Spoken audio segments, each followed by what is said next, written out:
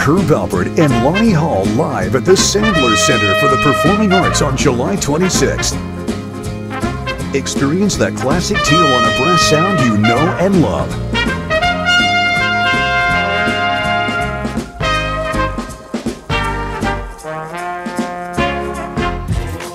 Sergio Mendes, live in concert, Bossa Nova Samba Celebration. August 16th, Sandler Center for the Performing Arts.